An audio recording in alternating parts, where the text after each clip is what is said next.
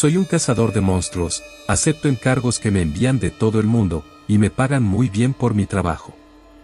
Los cazadores de monstruos de mi área son escasos, y no recomendaría llamar a uno de nosotros para algo como un skinwalker, ya que están por debajo de mi nivel salarial. A diferencia de muchos de mis compañeros cazadores, no estoy afiliado a ninguna organización. Soy más como un contratista privado. Con el tiempo, me volví tan bueno en mi trabajo que mis colegas empezaron a llamarme segador, pero me llamo Lance. Realmente no hay ninguna diferencia para mí. Solo me considero afortunado de volver vivo después de cada cacería. Esta es mi cacería más reciente, y también mi más cercano roce con la muerte. Comenzó como cualquier otro día. Me desperté, y seguí con mi rutina matutina, cuando me llamaron al teléfono. Era el típico caso de personas desaparecidas. Un grupo de cuatro campistas se había adentrado en los parajes salvajes de Alaska, y habían planeado ausentarse durante una semana. Cuando no volvieron dos días después de lo previsto, se llamó a las autoridades para que buscaran en la zona. No han vuelto desde anoche, y con la temporada de los Wendigo, a punto de entrar en su apogeo, me hice una idea de lo que podía haber pasado. Como el trabajo había estado lento últimamente, acepté encantado. No necesitaría nada más de lo que traía para la mayoría de mis cacerías, excepto equipo de invierno, pero siempre me ha gustado ir sobradamente preparado.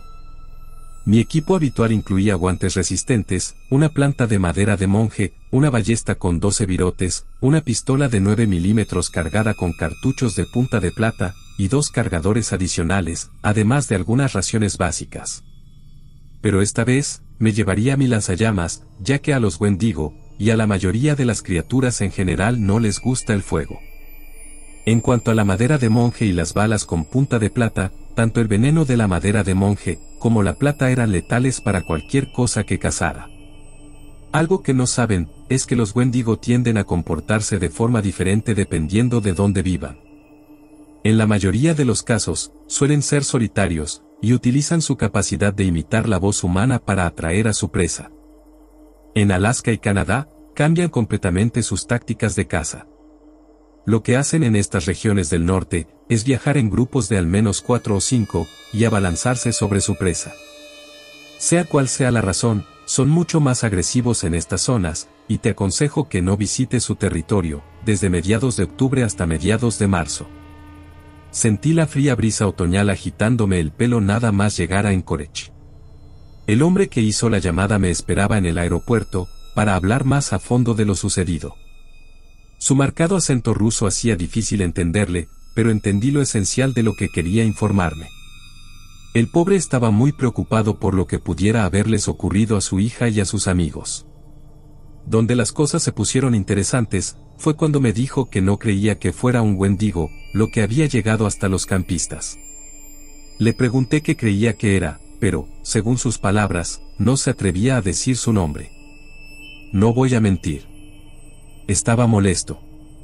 Tal vez este pobre viejo tenía alguna información significativa que podría ayudarme, pero ahora no tenía nada más que seguir. Un cazador normal habría decidido volver allí mismo. Yo no soy un cazador normal. Un enorme pozo de curiosidad rebosante de especulaciones se abrió en mi mente. Deseaba profundamente saber qué podía ser este posible horror misterioso. Por fin, algo había reavivado mi pasión. Después de años y años de cazar las mismas cosas, podía tener algún cambio, alguna emoción. Deseaba que esta fuera la cacería de mi vida. Llegué al campamento, y tendría unas dos horas de luz solar para trabajar, y era necesario moverse con rapidez. Tuve que caminar casi 8 kilómetros desde donde estacioné, sintiéndome vigilado todo el tiempo. No me convendría quedarme atrapado en la noche con un Wendigo, o cualquier otra monstruosidad que acechara en la oscuridad. Solo tendría una ventaja si llegaba la noche. La luna iba a estar llena, así que mis alrededores estarían al menos lo suficientemente iluminados como para que pudiera ver. Si fuera luna nueva, incluso un cazador tan hábil como yo sería presa fácil. La búsqueda en el campamento fue como esperaba. Estaba completamente abandonado. Nada en el bosque a mi alrededor emitía un solo sonido. Solo había un silencio sepulcral. Las tiendas estaban desgarradas como si hubieran pasado varias veces por una trituradora de papel, y luego las hubieran metido en una batidora. Había gotas de sangre por todas partes, manchando los árboles circundantes y lo que quedaba de las tiendas. De algún modo, donde antes había estado la hoguera, parecía que se había usado la noche antes de que yo viniera a investigar. Eso significaba que alguien de por aquí estaba vivo, y además era lo bastante listo como para saber que el fuego mantenía a raya a los Wendigo, o al menos así se suponía que debía ser. A pocos metros del fuego, yacía el cuerpo destrozado de un hombre lleno de cortes y mordiscos. A primera vista, parecía el ataque de un Wendigo. Las marcas de las garras coincidían con las que había visto antes, pero las mordeduras no. Todos los órganos internos de este pobre hombre fueron arrancados y comidos. Incluso con todo eso, no había sangre en su cadáver. Esto me preocupó más que nada. Ningún monstruo que hubiera cazado antes había dejado un cadáver sin sangre, excepto los vampiros, y ellos no devoraban los órganos internos de la gente. Junto a los arbustos vi a una mujer joven, y a otro hombre en el mismo estado que su amigo. Dos cuerpos más, que parecían ser de los guardabosques volvían a tener las mismas heridas, tenían que ser el grupo de búsqueda. Exploré algunos de los árboles cercanos, y vi el cuerpo de un wendigo, horriblemente desfigurado. Su escuálido cuerpo y su cornamenta estaban completamente despedazados. Entonces supe que tenía que marcharme o quedarme, y exterminar a este misterioso demonio. En contra de mi buen juicio, me encerré en el campamento, y utilicé mi lanzallamas para crear un anillo de fuego entre el bosque y yo. Mientras tanto, algo seguía royendo mi mente. Había cuatro campistas. Tres cuerpos. Algo no cuadraba. Una débil voz femenina, habló desde un árbol justo detrás de mí. No deberías haber hecho eso. El fuego lo trajo aquí la última vez. Me giré para verla, visiblemente temblorosa. Tenía la ropa hecha jirones, el pelo rubio hecho un desastre y los ojos azules llenos de lágrimas y miedo. Sentí compasión por ella. Yo había sido como ella en mis primeros días. Era mi primera cacería. Un hombre lobo me había metido en un viejo desván, y yo estaba dispuesto a tirarlo todo por la borda. La mirada de sus malvados ojos rojos quedó grabada para siempre en mi memoria, persiguiendo constantemente mis pesadillas. En ese momento, me erguí y me convertí en lo que soy ahora, un cazador que no tiene piedad de los monstruos. Nunca muestres piedad. Ellos no te devolverán el favor. Sube aquí. Gritó la chica, haciendo que toda su desvanecida vida volviera a ella en ese instante. Dudé. Los Skinwalkers suelen emplear esta táctica con la gente que simpatiza con ellos. Pero, tenía razón. En cuanto la chica lo mencionó, oí algo que se abría paso entre los árboles desde mi izquierda. Era sobrenaturalmente rápido. Las ramas se quebraron y las agujas de los pinos crujieron. Las pisadas de la bestia se hicieron más fuertes y pesadas a medida que se acercaba. Me subí rápidamente al árbol. Era difícil con mi equipo, pero no podía permitirme dejar nada atrás aparte de mi lanzallamas, que deseché por mi propia seguridad. De algún modo, conseguí subir hasta una rama lo bastante alta. Supongo que la pura fuerza de voluntad, unida a la adrenalina producida por el miedo, puede lograr casi cualquier hazaña física de fuerza. La chica empezó a gritar cuando el monstruo irrumpió en el claro, pero pude alcanzarla y taparle la boca, aunque con algo de esfuerzo. En el claro había un lobo enorme. Si tuviera que adivinar, probablemente mediría cerca de dos metros por encima del hombro. Una ligera brisa soplaba entre su espeso pelo blanco. Un par de ojos rojos, brillantes y malvados me miraban, y su cara se curvaba en un gruñido, mostrando colmillos que goteaban un líquido rojo carmesí. El aullido grave y distorsionado que emitió fue más que ensordecedor. Era dominante y primitivo. El lobo se paseó alrededor de mi anillo de fuego, y lo atravesó después de dar una vuelta completa. Su pelo no se chamuscó lo más mínimo por el rugido de las llamas. El lobo se quedó hasta que la luna se alzó en el cielo, mirándome al alma con sus ojos malignos todo el tiempo, pero cuando pude oír el crujido de los árboles a lo lejos, y los inconfundibles rugidos de los wendigos, el lobo se marchó. Conociendo a estos monstruos como los conocía, sabía que volvería. ¿Por qué se marchó? Estoy seguro, que tenía fuerza suficiente para embestir el árbol y derribarlo, llevándonos con él, siendo una comida fácil. La bestia podría haber saltado con sus poderosas patas, y seguir haciéndolo hasta que uno de nosotros fuera derribado junto con él. Mientras intentaba pensar en una salida, la chica me habló por primera vez en horas. ¿Por qué estás aquí? Preguntó haciendo audible la derrota que sentía. Un ruso me ha llamado para saber qué les había pasado. La pregunta es, ¿cómo has sobrevivido? Así que el padre de Natalia te envió. Yo viví porque ellos murieron. Esa cosa casi me atrapa a mí también, pero en vez de eso, subí a este árbol. Llevo tres días aquí arriba. Sentía que se me llenaban los ojos de lágrimas. Por suerte, aún llevaba mi mochila. Saqué un trozo de cecina y una botella de agua y se la di. Toma.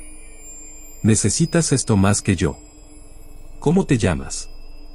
Ella los tomó rápidamente, y agradecida, empezó a comer y beber. Sé que no es mucho, pero no te dejaré morir, no si puedo evitarlo.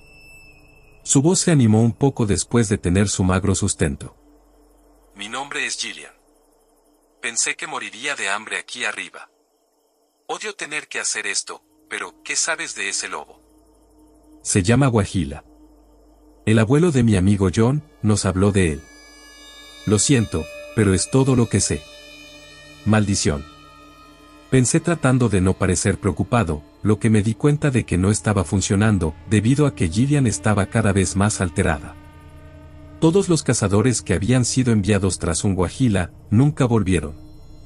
Son los mejores de Norteamérica. No importa el tiempo que les lleve, siempre matan algo en lo que se fijan, y ahora nosotros éramos probablemente su próxima forma de alimento cuando volviera. En ese momento, ni una sola persona había documentado sus habilidades. Solo se especulaba sobre lo que podía hacer. He visto de primera mano lo que deja tras de sí, y a menos que tengas un deseo de muerte, nunca vayas tras un guajila. ¿Qué pasa? Preguntó queriendo saber, a qué le podía temer, alguien como yo. No es nada. Mentí en vano. Será mejor que me lo digas. O salimos vivos, o perecemos declaró con el mismo fuego, que yo solía tener en mis primeros días. De acuerdo. Te lo diré, pero no te gustará. Soy uno de los mejores cazadores de monstruos que hay. La gente paga mucho dinero, para que tipos como yo hagan estas cosas, y por muy bueno que sea, por muy buenos que sean otros cazadores como yo, ninguno ha vuelto de cazar un guajila. Extrañamente, esto no hizo mella en su optimismo. Sus ganas de vivir brillaban más que el anillo de fuego que seguía ardiendo. Eso encendió un nuevo fuego en mí. Tenía que sacarnos de aquí con vida. ¿Quién dijo que no serías el primero? Gillian dijo reafirmando mi nueva determinación. Dios, me recordaba tanto a la mujer por la que empecé mi carrera de cazador. Cuando tenía 19 años, salimos a acampar juntos en los Apalaches, los dos solos. Un Skingolker me la arrebató, y juré vengarla. Sé que es como un cliché de película exagerado, pero es un cliché por una razón. Los humanos tenemos el impulso de vengar a nuestros camaradas y seres queridos. Ese Skingolker terminó siendo el segundo demonio que maté, después de ese hombre lobo. Era como un derecho de paso. Pero, al matar a ese maldito, supe que no había vuelta atrás después de haberlo hecho. Aquí estaba siete años después, viendo a alguien pasar por lo que yo pasé. Tal vez, en cierto modo, mi novia volvió a mí. Sabes, quizá estés en lo cierto, le di la razón, para su regocijo. Ahora estaba más decidido que nunca a volver con vida. Abrí uno de los bolsillos de mi mochila y me puse los guantes. Luego, abrí un segundo bolsillo y saqué con cuidado la planta de madera de monje. Con lo que quedaba del agua, la destilé, ya que los guajila pueden oler hasta su más leve aroma. Cargué los virotes de mi ballesta con el brebaje y esperé. Solo habría tiempo para un disparo, antes de que el enorme lobo supiera lo que intentábamos hacer, si es que no lo sabía ya. Me volví hacia Gillian y le dije, entregándole mi 9 milímetros. no hagas ruido, veas lo que veas u oigas lo que oigas. Si me pasa algo, necesito que corras. Solo tienes que salir del bosque. Puedo darte tiempo suficiente para eso. Ella sintió con la cabeza. Me alegró el corazón saber que al menos uno de nosotros sobreviviría a la noche, aunque yo tampoco quería morir. Pasaron unas dos horas más. El fuego hace tiempo que se había extinguido y el sol estaba saliendo. Entonces, lo oímos. Un Wendigo se dirigía hacia nuestro claro. Por sus frenéticos movimientos, el guajila le pisaba los talones. Tan pronto como el Wendigo rompiera la línea de árboles, todo habría terminado. Efectivamente, el guajila se abalanzó sobre él, tal y como había predicho. Esta era mi oportunidad. Disparé mi ballesta. Impacto directo. El virote se incrustó entre los omóplatos del enorme lobo, que destripó a su presa. Su aullido resonó por todo el bosque, como si el propio bosque sufriera. El potente veneno tardó unos minutos en hacer efecto en el enorme cuerpo del guajila, que se alejó corriendo. El Wendigo seguía vivo, lanzando fuertes gritos de angustia mientras se arrastraba hasta la base de nuestro árbol, y empezaba a trepar. Antes de que pudiera recargar mi ballesta, oí el chasquido de un disparo. Entre los ojos del demonio había un agujero humeante. Ya no se movía, salvo por un par de espasmos. Gillian y yo bajamos del árbol y corrimos en dirección al sendero. La sensación de ser observados nos siguió todo el camino, hasta que llegamos al último claro antes del comienzo del sendero. La presencia amenazadora que nos había estado acechando, estaba de pie en el centro del claro. Tropezando hacia nosotros estaba el guajila, con el virote de la ballesta aún clavado en su espalda. Estaba sucumbiendo claramente al veneno, pero ni siquiera eso detendría a este sabueso infernal en su empeño de devorarnos. Gillian se quedó paralizada. Le arranqué la pistola de la empuñadura cuando el monstruo se abalanzó sobre nosotros, con los dientes enseñados, los ojos rojos brillantes y la boca llena de espuma. Un disparo fue todo lo que necesitó. Se acabó. El cuerpo del guajila se estremeció, y cayó al suelo con un ruido sordo y satisfactorio. Llegamos a la camioneta, en la que había llegado el día anterior. Llamé por radio a alguien cercano, y les conté lo que tenían que recuperar del bosque. Al principio se mostraron escépticos. No era la persona destinada a recibir el mensaje, pero tras algunos tanteos con la radio al otro lado, nos dieron luz verde para abandonar la zona. No sé si fue mi imaginación o no, pero juraría que vi un par de ojos rojos que nos observaban mientras nos marchábamos. Algo pasó después de irnos. A unos 50 kilómetros por la remota carretera, algo embistió la camioneta, rompiendo un trozo considerable de la plataforma, y haciendo que el vehículo se descontrolara y se saliera de la estrecha carretera. Al pisar el freno, perdimos suficiente velocidad para que el árbol que golpeamos solo destrozara el parabrisas. Las bolsas de aire se desplegaron para evitar lesiones graves, pero yo me quedé con el pecho magullado. En ese momento supe que había fracasado. El guajila había vuelto. Entonces llegó el aullido. Ese aullido impío. Mi adversario me había engañado haciéndome creer que estaba muerto. Fui descuidado, sobreestimé mis habilidades y subestimé las de mi presa. Aunque no podíamos verlo, sentíamos el odio y la rabia que emanaban del exterior de la camioneta. Era solo cuestión de tiempo que el Guajila destrozara pedazo a pedazo nuestra única salida de aquí.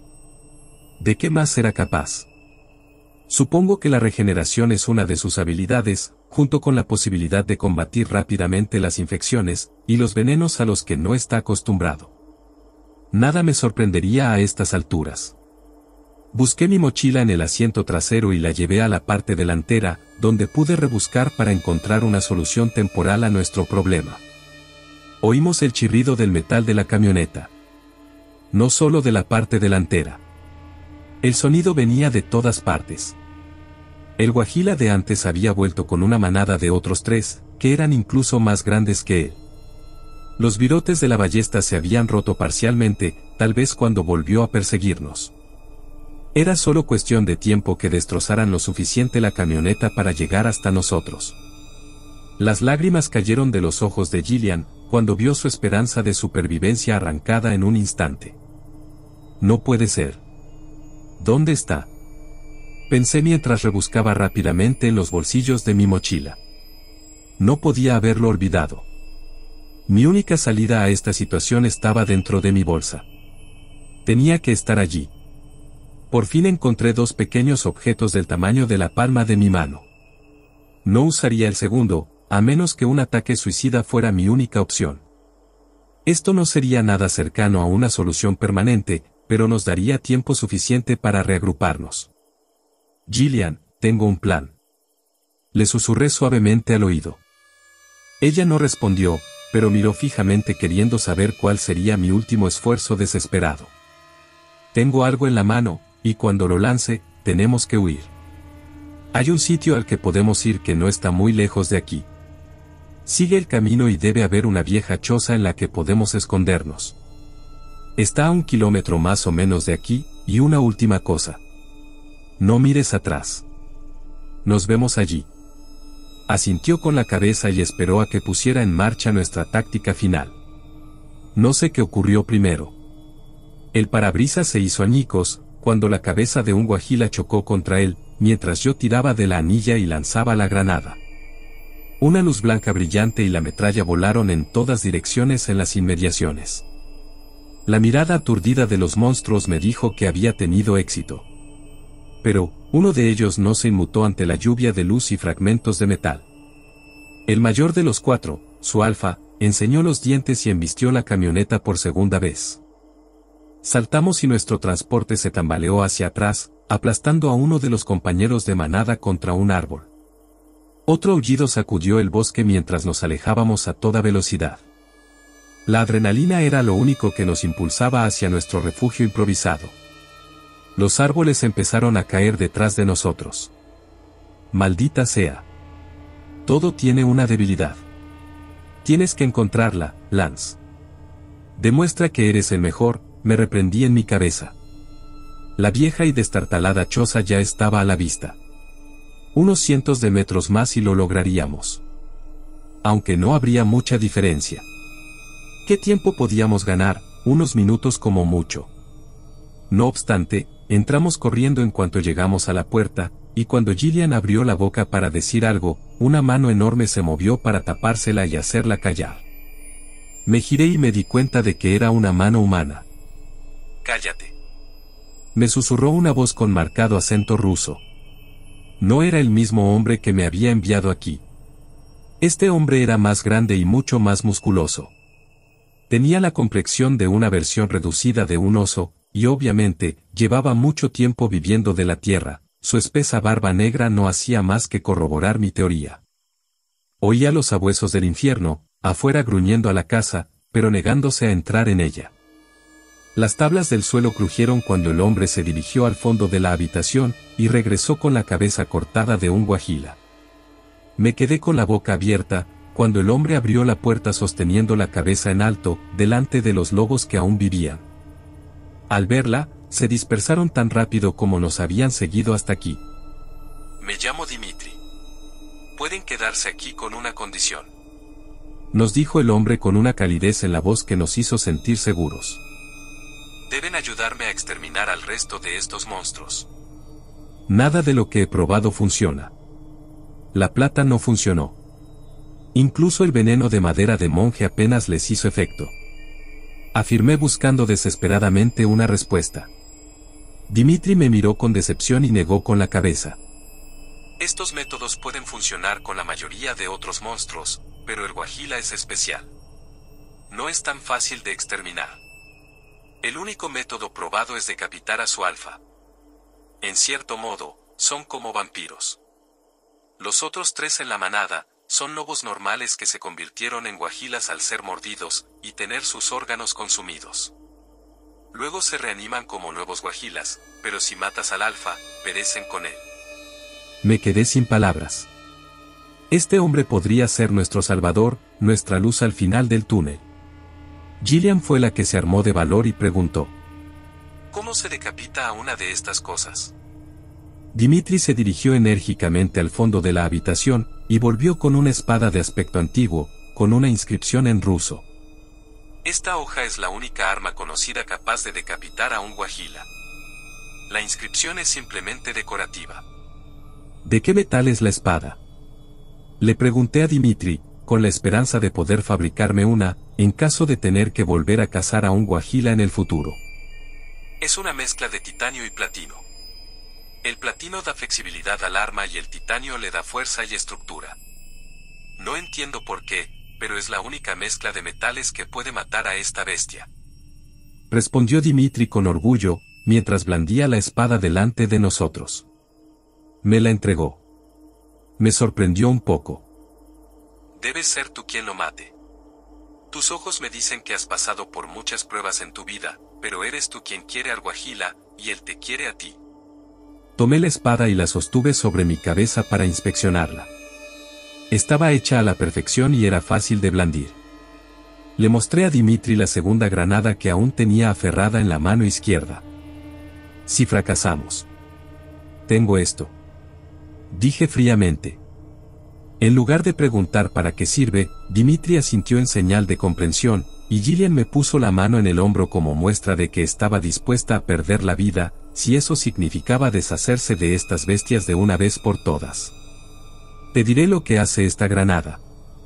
A cada cazador le dan una de estas, los agentes del gobierno que los entrenaron, tanto si deciden seguir afiliados como si no. Es un arma de último recurso. Lo que hace es destruir toda la materia orgánica en un radio de un kilómetro. Dimitri nos permitió dormir en el piso de arriba, mientras vigilaba por si alguna criatura desagradable buscaba un tentempié a medianoche. Mis sueños estaban atormentados por mi fracaso en acabar con él, aquel día. Me dormí revolcándome en mi tormento. A la mañana siguiente, Dimitri nos llamó para que desayunáramos. Cualquier cosa para comer sonaba bien en ese momento, y el venado era lo mejor que había probado después de tener por fin tiempo para comer. Me pregunté si así se sentiría Gillian la noche en que nos conocimos. Comimos lo justo para pasar el día. Si hubiéramos comido demasiado estaríamos aletargados y lentos, que es algo que no podemos permitirnos para la batalla que se avecina contra los Guajila. Vamos. Debemos ir a su guarida. Será más fácil si atacamos durante el día. Nos ordenó Dimitri sin ninguna objeción. La caminata no duró mucho antes de que encontráramos la boca de una vasta cueva. Aquí tenía que ser donde los guajila pasaban la mayor parte del día. Mis manos apretaron con fuerza la espada mientras nos acercábamos. Gillian y Dimitri llevaban bengalas para atraer a los monstruos, y P90 para protegerse. Las balas no tendrían mucho efecto en los grandes lobos, pero tal vez el fuego infernal inicial, los aturdiría lo suficiente para que yo pudiera escapar hacia el alfa. Dimitri y Gillian tomaron posiciones a cada lado de la cueva conmigo en el centro. Estaba listo. Era ahora o nunca. Levanté los dedos, y en silencio, conté hasta tres. Cuando el tercer dedo se cerró en mi puño, rompieron las bengalas y las lanzaron a la boca de la cueva. Los aullidos infernales volvieron, amplificados por la acústica de la guarida de sus dueños. Los cuatro poderosos lobos salieron corriendo de la cueva con la mira puesta en mí, mientras yo me mantenía en posición esperando a que mis compañeros abrieran fuego. Cuando empezaron los disparos, dos de los lobos se separaron del grupo para atacar a Dimitri, mientras que el que tenía un virote clavado en el lomo, salió disparado hacia Gillian. Perfecto. Ahora solo quedábamos el alfa y yo. Se abalanzó hacia mí, y fue entonces cuando me di cuenta de que era más grande que sus compañeros de manada. Los empequeñecía por completo. Supongo que por lo menos tres metros de altura, y colmillos de unos 20 centímetros de largo cada uno. Sus poderosas fauces estaban llenas de dientes como cuchillas de afeitar. Los ojos rojos no solo parecían brillar. Realmente tenían un brillo malévolo, que transmitía aún más la intención de matar del alfa guajila. De nuevo, me enfrentaba a un momento en el que tendría una oportunidad de atacar. Todo dependía de esta última táctica. No fui lo suficientemente rápido. La cabeza del guajila chocó contra mí, y me hizo volar y aterrizar con fuerza en el suelo.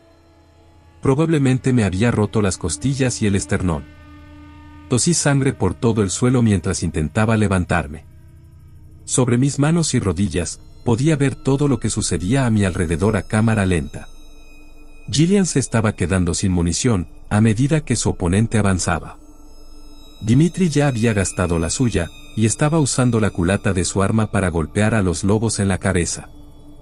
El alfa se abalanzó sobre mí. No pude hacer nada. Había soltado la espada, cuando fui lanzado al aire como un muñeco de trapo. Estaba a solo unos metros de donde yacía maltrecho y roto. La miré fijamente. Nuestra única posibilidad de sobrevivir estaba a unos metros de mí, pero no podía moverme. Las cosas fueron de mal en peor, cuando sentí que los dientes del guajila me desgarraban la cavidad torácica. Apenas podía respirar, lo que empeoró cuando el gigante me arrancó uno de los pulmones. Mi vida se desvanecía. Las dos personas que habían apostado su vida por mí, iban a morir si no hacía algo. Todo se volvía negro. Siempre me había preguntado cómo sería morir. De niño, en el instituto, pensaba que moriría plácidamente mientras dormía, pero no así. Así no. Repetía en mi mente una y otra vez mientras mi vida casi desaparecía. Los gritos y súplicas de auxilio de Gillian no cayeron en saco roto, ya que su agresor la había tirado al suelo. Dimitri estaba luchando contra dos de estas cosas a mano limpia, y estaba aguantando al principio, pero él también estaba empezando a agotarse. Mi voluntad de vivir se puso inmediatamente en acción. Había otros que contaban conmigo, aquellos que perdieron la vida por estos engendros infernales, para vengarlos y mis dos amigos aquí conmigo ahora. Hice lo único que se me ocurrió. Saqué la granada del bolsillo y la clavé en el ojo derecho del guajila, haciendo que retrocediera unos segundos. Los gritos de Gillian se hicieron más fuertes a medida que el lobo la alcanzaba, mientras se ponía instintivamente en posición fetal. Me puse en pie de un salto, agarrándome lo que me quedaba de pecho, y di una voltereta hacia la espada. Sabía lo que tenía que hacer. El guajila alfa volvió a embestirme, con su cabeza lista para clavarme en el suelo, pero esta vez sería diferente. Mi agarre de la espada no me había fallado. Cuando el monstruoso lobo empezó a atiborrarse de nuevo de mis entrañas, blandí la espada con todas las fuerzas que me quedaban. El corte no fue ni mucho menos perfecto, pero cumplió su cometido. Esta vez, había terminado de verdad, cuando la cabeza del alfa guajila se desprendió de mí. Sus compañeros de manada cayeron al suelo. Estaban muertos, y yo mismo di la bienvenida al frío abrazo de la muerte mientras todo se volvía negro de nuevo. Una noche me desperté con una luz brillante y cegadora. Estaba en un hospital. ¿Cómo podía estar vivo? Estaba agradecido de seguir vivo.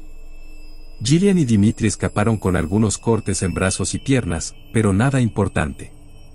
Yo, en cambio, no tuve tanta suerte. Se confirmó que me faltaba uno de los pulmones y que había perdido mucha sangre. Mientras escribo esto, Gillian y Dimitri me dicen que me trajeron lo antes posible, y que se quedaron aquí toda la noche para asegurarse de que saliera adelante. Pronto me operarán y me harán transfusiones de sangre para salvarme la vida. Eso significa que estaré fuera de servicio por un tiempo. Espero tener más historias que contar en el futuro, pero por ahora, manténganse todos a salvo.